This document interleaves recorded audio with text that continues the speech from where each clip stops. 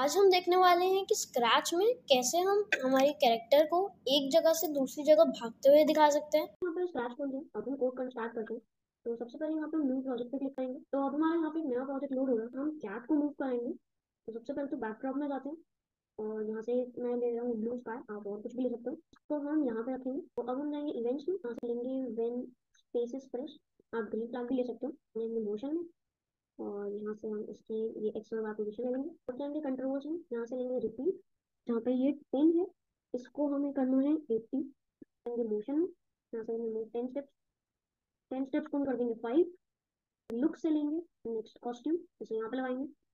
तो एक बार इसे मैक्सिमाइज करते हैं। और मैं इसे एक बार यहाँ पे रखता हूँ। और जैसे ही मैं स्पेस बार दबाऊँगा ठीक है, यहाँ पे जाएगी चेक करते हैं।